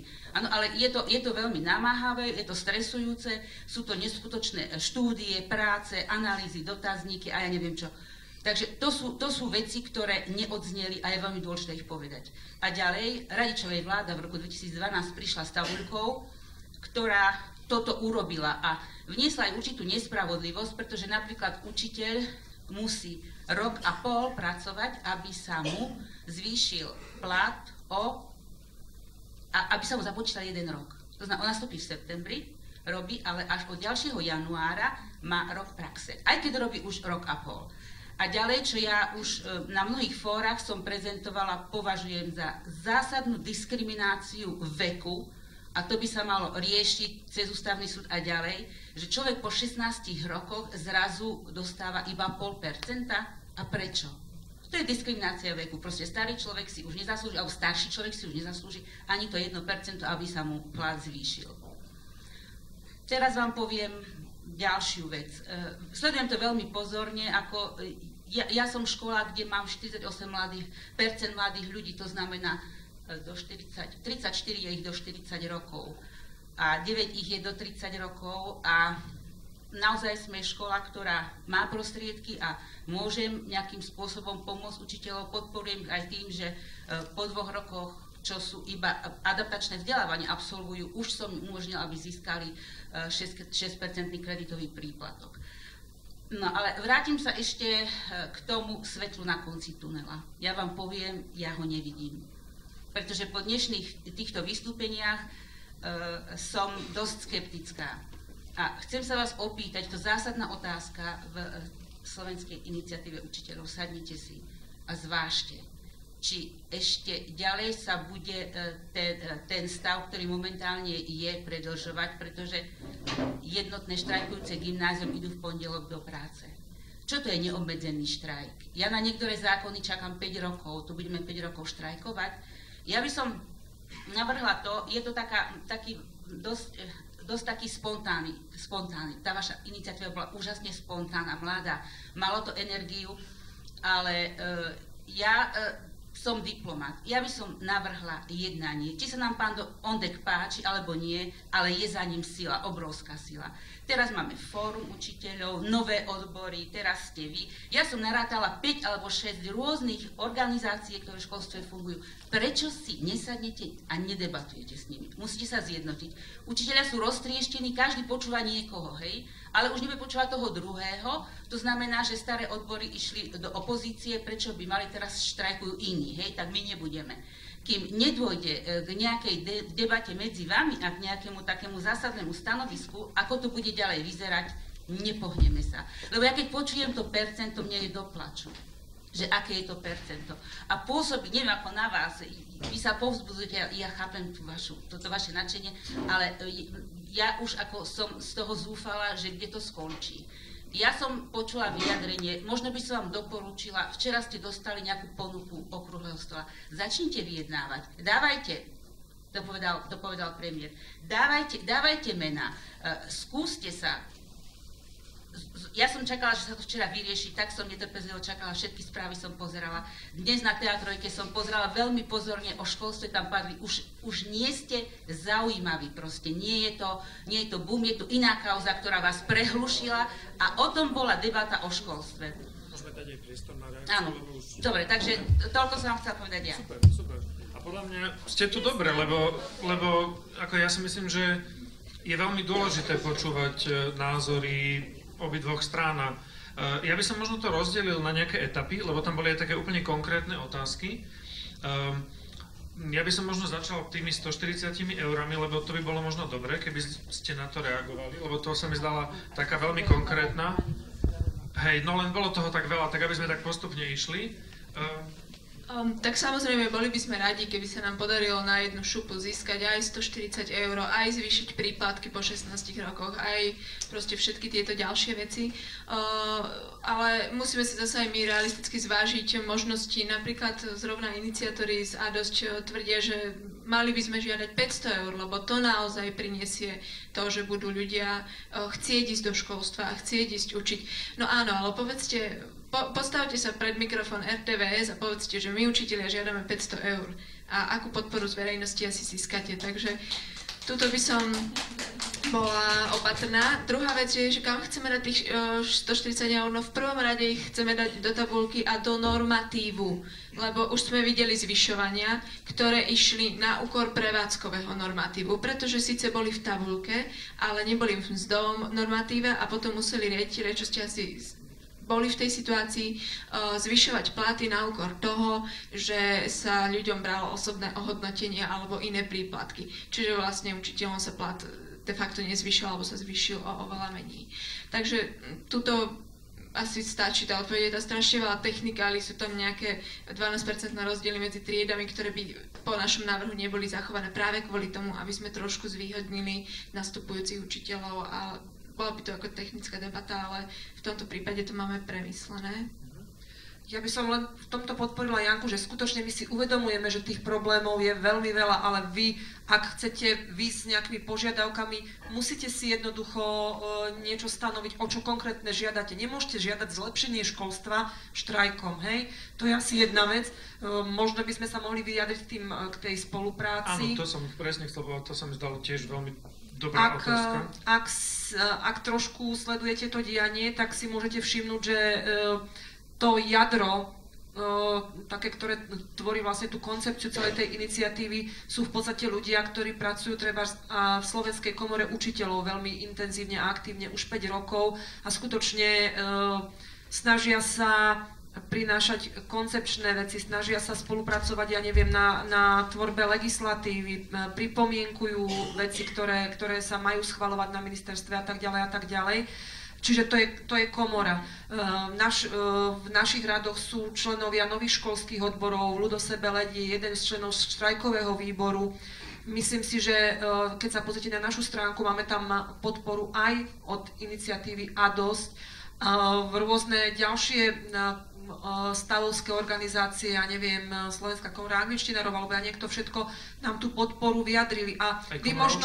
nie? Lebo aj áno, áno. Vlastne, a vy možno neviete, o, práve, práve preto, že médiá sa nemôžu venovať 24 hodín e, školstvu, ale vy možno neviete o mnohých stretnutiach, rokovaniach, okrúhlych stoloch a ja neviem čo všetkom, čo, čo medzi nami prebehne. Čiže to, že by tu spolupráca nebola, nie je pravda. Je to tak, len skutočne nie je médium, ktoré by informovalo len o školských veciach, takže nie všetko sa dostane, dostane von. A ešte na margo toho okrúhleho stola, no ja som tam včera sedela na tom výbore a nás tam teda nikto nepozval.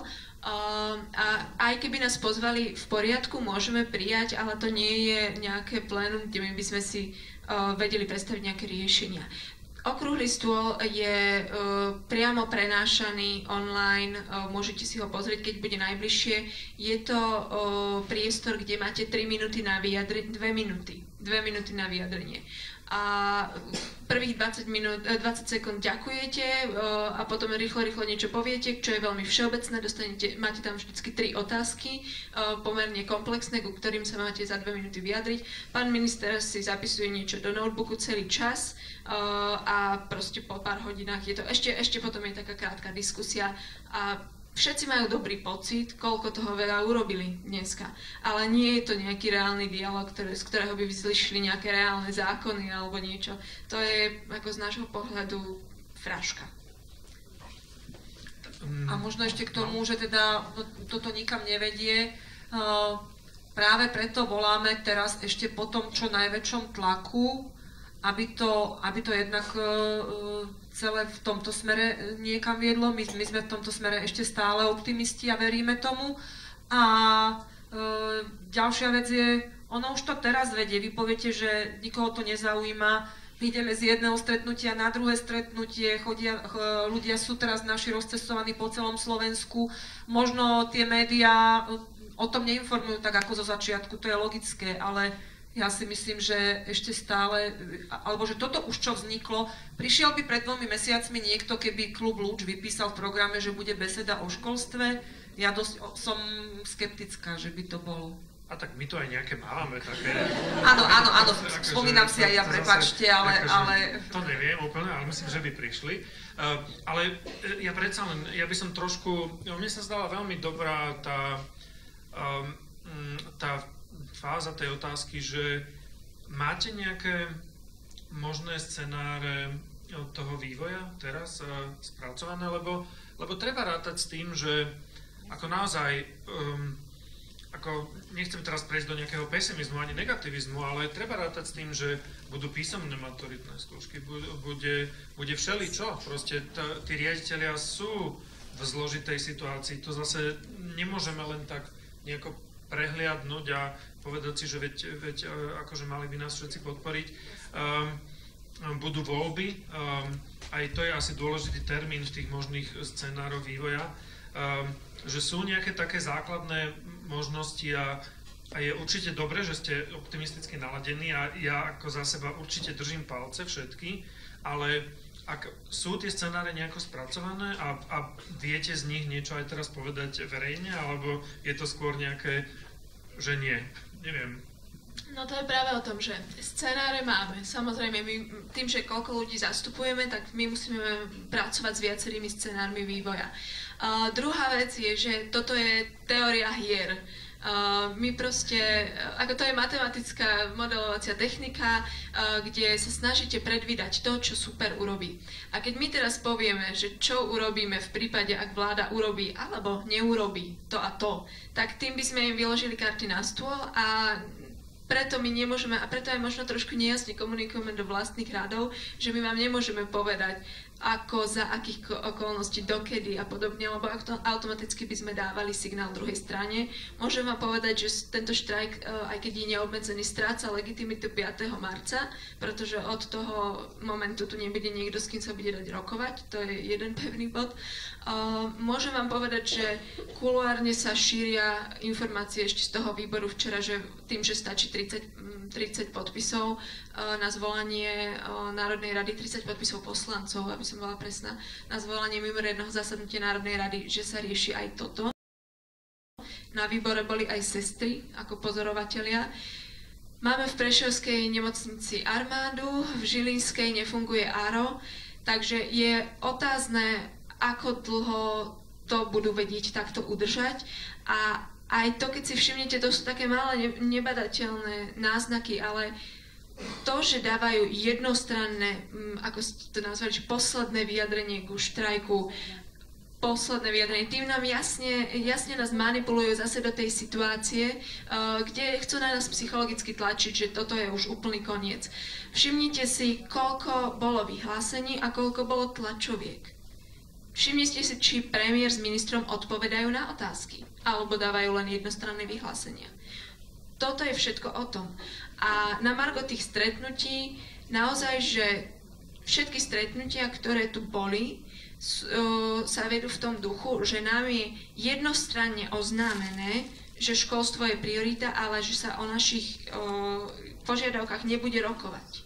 A to nie je dialog, to nie je rokovanie, kde by sme sa mohli baviť napríklad o tom, že kam chceme dať tých 140 eur, alebo že aké je časové rozloženie niektorých požiadaviek. K tomuto ešte nikdy nedošlo. Tu je len jednostranná fixná pozícia vlády, že s nami nevyjednávajú, aj keď ako sa snažia prezentovať rôznymi pracovnými skupinami a podobnými záležitostiami. Uh, ne, uh nech sa tak, e, neviem v akom poradí, možno Kačka chvíľočku a tuto a potom dáme nejaký ďalší priestor. Ja by som ešte chcela zareagovať na, na, na tú vašu otázku. Uh, za našu školu, ak ste spomínali, že ak by sme aj my skončili v ten pondelok, my by sme určite neskončili. My, my by sme pokračovali v inej forme štrajku s tým, že by sme veľmi, veľmi sa snažili, ako som to už predtým spomínala, vlastne pracovať s tou verejnosťou a pracovať s tými študentami. A zároveň uh, hovoríte, že nevidíte nejaký, nejaké svetlo alebo výsledok. My ho, myslím si, že kolegyňa mi dá zapravdu, že my ho vidíme, pretože to nie je len v tom, že vidíme, ako sa o, školstve rozpráva, ale vidíme to uh, aj na našich študentoch a na ich reakciách, že si myslíme, že je tam určitá forma nejakého pozitívneho vzoru alebo niečoho takého, takého výchovného, čo um, taký výchovný aspekt, taká tá demokracia v priamom prenose, už som to kde si počula alebo čítala, ale naozaj tá občianská angažovanosť e, v tomto, toto je to práve. Aby si tie deti uvedomili, že naozaj my už nebudeme tí, ktorí sklopíme uši, ktorí budú počúvať nepravdy, ktorí nebudú chcieť na nič reagovať, že, ne, že budú ľahostajní to, čo sa deje okolo. Ja si myslím, že toto je tiež silný vklad druhý celého tohto štrajku. Ja tiež, ako, ja tiež so všetkými tými konštruktívnymi pripomienkami aj kritikou úplne súhlasím, ale neviem sa osobne zmieriť s tým, že nevidím svetlo na konci tunela. Lebo to by znamenalo proste úplnú... No, no ja viem, ja len hovorím za seba názor, že, že, že keby som ja mal žiť s predstavou, že nevidím svetlo na konci tunela, tak je to, je to proste totálna depresia, že aký zmysel má moja občianská prítomnosť. Ja sa proste nemienim prestať snažiť, veď to je len jeden život, čo mám. To nič iné nebude. Ja, ja, ja ešte raz len zopakujem, že fakt rozumiem všetkému kritickému a chápem aj ten pesimizmus, len toto som si myslel, že som chcel povedať k tomu, ale e, tak nechám ešte jasné, že priestor na reakciu. A... Viete, najprv premiér poďakoval všetkým učiteľom, ktorí sa nezapojili do štrajku. Potom poďakoval všetkým učiteľom, ktorí už nastúpili, ktorí ukončili štrajk a povedal, že po tomto dni, kto bude ešte štrajkovať, tak to považuje za politikárčenie. Takže e, preto, preto ja som dosť skeptická. Keď vy poviete, že iná forma štrajku, ale tu platí len štrajk, zatvorená škola, taký tlak, že budeme hovoriť s verejnosťou, alebo že budeme toto, to, to nie je tlak pre, pre vládu, aby nejakým spôsobom zásadným reagovala. Dobre, ja, ja vám veľmi fandím, vám držím palce a keď sa vám to podarí, tak bude vám celá učiteľská obec vďačná.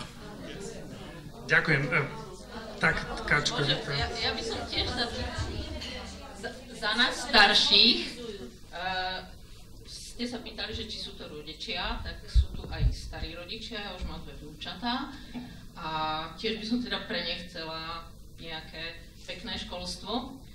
A e, čo mňa desí v posledných rokoch je všelijaké iniciatívy na, na rôznych úrovniach e, od, od nejakých e, predmetových komisí cez niekoho idú na ministerstvo vybaviť, presvedčiť ministra, že treba viacej hodín etiky, viacej hodín náboženstva, viacej hodín matematiky, ako matematik, teraz som v tej skupine, kde sa profesori e, rozhodnú, že idú poprosiť toho pána ministra, aby im dovolil, alebo aby tam pridal jednu hodinu vyučovania toho ich predmetu. A mi to príde strašne zvláštne, že títo veľmi múdri a vzdelaní ľudia chodia prosiť niekoho, kto o tom nemá nejaký extra prehľad. A že vlastne prosia ho o niečo, aby niečo zabezpečil, treba ste kredity, hej, teraz ide o kreditoch, tak prosíme nejakých hore nad nami, aby nám pre Boha dovolili tie kredity používať už to životne. No a mne to príde, že my sme si to tak trošku za to môžeme možno sami, lebo my sme tie deti tak vychovávali. Nie vy, vy ste tí mladí, ktorí ste z obliga, ale my, starší učitelia, sme možno nepripustili tú diskusiu, potrebovali sme prebrať veľa látky, veľa os, z osnov, osnovy boli nadúpané, nemohli sme tam nejako uh, zdržovať a uh, tým pádom sme proste chceli efektívne učiť a rýchlo učiť a veľa učiť a zmenil sa tam taký nejaký drill a deti proste museli robiť to, čo sme im nadirigovali. A my sme ich vlastne naučili, že je niekto nad nimi, koho oni majú poslúchať a kto im povie, ako to má byť a oni to tak budú ako potom brať.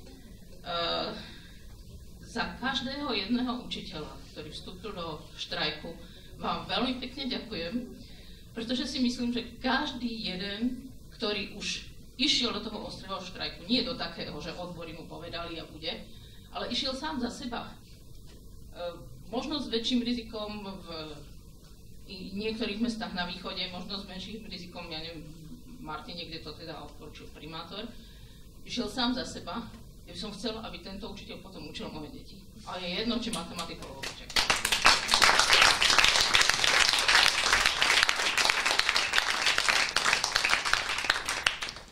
Um, chcel by niekto ešte niečo povedať uh, alebo sa spýtať? Ja by som chcel ešte povedať, že uh, k tomuto, že vidím vidím na prvákoch, ktorí idú na, na strednú školu, že sa boja robiť chyby, čo chyby treba robiť, aby sa človek naučil. A tiež nevedia vyjadriť nejako svoje pocity, že nevedia ich dať najavo, nevedia povedať, že toto sa mi nepáči, toto sa mi páči, tak preto im napríklad dávam taký dotazník, že čo sa vám na mojich hodinách páči, čo sa, im ne, čo sa vám nepáči. Anonymne, nech mi to tam napíšu a potom je to taká malá forma demokracie. Ďakujem. Tam som videl ešte nejakého pána, ktorý išiel v mikrofón. Ja, možno len som v podstate bývalý pedagóg, nejaké skúsenosti s tým. Viem, že niektorí tvrdia, byť učiteľom má zmysel, pretože máte júl august. Zasa, zrovna vtedy prežívajú prácu v táboroch. To znamená, že sa venujú aj vo svojom voľnom čase tomuto. A hovorím, možno chýba tomu e, medializovať to ešte vyše s nejakým pánom Milanom Zelinom, ľuďmi, ktorí okolo toho robili veľa, pamätáte sa Millennium, Vtáčnik a podobný, takže týchto viac zapojiť do toho, aby sa o tom hovorilo, lebo keď si zoberiete, tak Fico má zámer, aby ste neboli number one v správach. Proste ísť do tomu. Už teatrojka, ktorá vlastne patrí, obrazne povedané, také politickej strane, tak to dáva ako piatú správu a neviem čo. E, možno bulvár je ten, ktorý zverejní nejaké veci, o ktorých sa bavíte, ale viete, plátky čítajú väčšinou tí dôchodcovia, ktorí nový čas a podobne, že prelistujú a to je všetko. A pani riaditeľko to spomínala, že to svetlo na konci toho tunela nevidí, hovorím, že debatovať s tými deckami, otvoriť im oči, lebo oni vedia, že často do tej školy chodia neradi. Ale prečo neradi? Lebo sa učia niečo, čo ich nebaví a vlastne celá tá koncepcia školstva, ktoré sa bavíte, musí byť výstupom toho všetko, nielen mzdy, o ktorých sa tu teraz bavíte. A o tomto, keď sa bude hovoriť aj so žiakmi, tak ten výstup pôjde do tej verejnosti a to je to svetlo. Svetlo.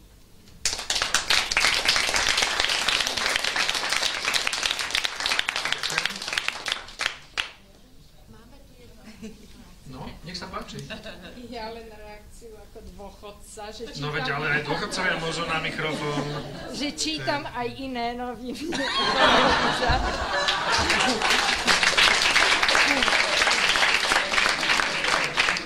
Kto náhodou prelistoval celý týždeň, tak časopis týždeň, tak si všimnite od Lucie Pilsy, také, čo ona tam píše a ja vám prečítam len jednu vetu, na ktorú som ako bývalá učiteľka bola veľmi hrdá. Nevidím dobre, ale domyslím. Milí štrajkujúci učitelia, ste picha tejto krajiny. Až mi je smutno. Skláňam sa pred vami. Choďte do toho, nedajte sa. Držte sa.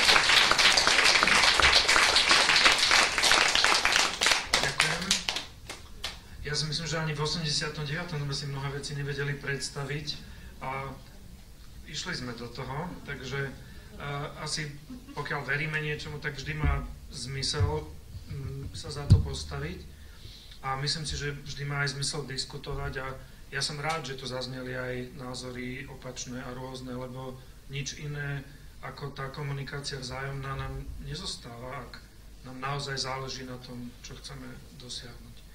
Takže ja by som možno na tomto mieste tú dnešnú debatu ukončil. Pokiaľ nechcete niečo mm, dôležité povedať na záver. Malú pozvánku, že do mhm. Starej Turej, ak by ste mali v piatok cestu, tak o 18. hodine sme teraz vybavili v ako sa to, uh, Irish, v Irishi. Mm-hmm. Takže o 6. večer v Irishi sa uvidíme na takom literárno-hudobnom večeri na podporu štrajku. Tak e, super, takže kto to má blízko a má záujem, tak je vítaný srdečne. Ja by som veľmi rád poďakoval iniciatíve trenčanských učiteľov, že dali toto dnešné stretnutie dohromady. E, vám všetkým, že ste prijali pozvanie sem prísť. E, ja viem, že to je strašne náročné, aj to cestovanie, aj tá obsahová agenda toho celého, ale držíme vám palce aj to Strenčína vo všetkom, čo robíte. A ďakujem aj vám všetkým, že ste prišli, ako je to strašne milé, že taká podpora pre túto tému sa nazbierala. Uh, ak by ste mali záujem, my to v Lúči naozaj mávame také diskusie všelikedy, takže a, aj s, s témami, ktoré sú, sú vážne, lebo niekedy proste ten život je taký, že je vážnejší, takže aj také lístky ste si našli možno 16 E, februára, v útorok o dva týždne, sem prídu za nami e, Zuzka Čaputová z Via Juris a Paolo Sibila z nadácie Zastavme korupciu, e, ktorí budú hovoriť práve o tom, že, že možno naozaj tých peňazí nie je málo, len ten spôsob, akým sú prerozdeľované, nie je úplne transparentný a, a rozumný. Takže ja vás srdečne pozývam aj na toto stretnutie a prajem vám všetkým pekný večer ešte. Ďakujem.